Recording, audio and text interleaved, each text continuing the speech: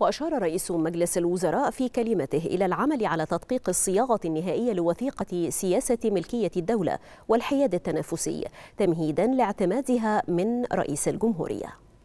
إذن تدقيق الصياغة النهائية لوثيقة سياسة ملكية الدولة والحياد التنافسي وعرضها على مجلس الوزراء في خلال الأسابيع القليلة القادمة تمهيدا لاعتماد فخامة السيد الرئيس لها. رابعا تبني حزمة من الحوافز الاستثمارية التي تم اعتمادها خلال اجتماع مجلس الوزراء الأخير وعلى رأسها تحديد عدد من الصناعات والأنشطة الاستراتيجية للدولة المصرية والتي التي ستتمتع بعدد من الحوافز منها وعلى رأسها رد جزء كبير من ضريبة الدخل وتصل